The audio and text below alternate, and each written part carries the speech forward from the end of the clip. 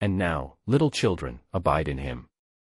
The apostle having finished his separate instructions exhortations to the fathers, young men, and children, returns to the whole body of the saints in general, whom he addresses, as in 1 Jo 2 1, under the name of little children, see Gill on 1 Jo 2 1, and whom he exhorts to abide in Christ, that is, in the exercise of faith on him, of hope in him, and love to him, and to hold to him the head, and to hold fast his word and gospel, and abide by his truth and ordinances, and adhere to his cause and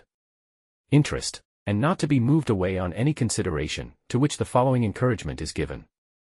That when he shall appear, that is, Christ, who is now hid, and out of the sight of bodily eyes, is in heaven, at the right hand of God, but ere long he will appear a second time, and not only to those that look for him, but even every eye shall see him, and his appearance will be a glorious one, and his saints shall appear in glory with him, and shall be like him, and see him as he is.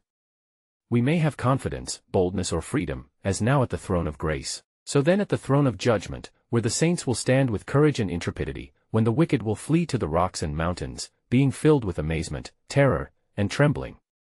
And not be ashamed before him at his coming, they will not be put to shame by him, nor will they be ashamed of their confidence, faith, hope, and expectation, their hope will not make them ashamed, for they will now enjoy what they hoped for, and, notwithstanding all their sins and infirmities, they will not be ashamed, for they will have on the wedding garment, the righteousness of Christ, and will stand before the throne without fault, spot, or blemish, nor will Christ be ashamed of them who have not been ashamed of him and his words, but have confessed him, and have been faithful unto death, and have cleaved to him and his cause with full purpose of heart to the end.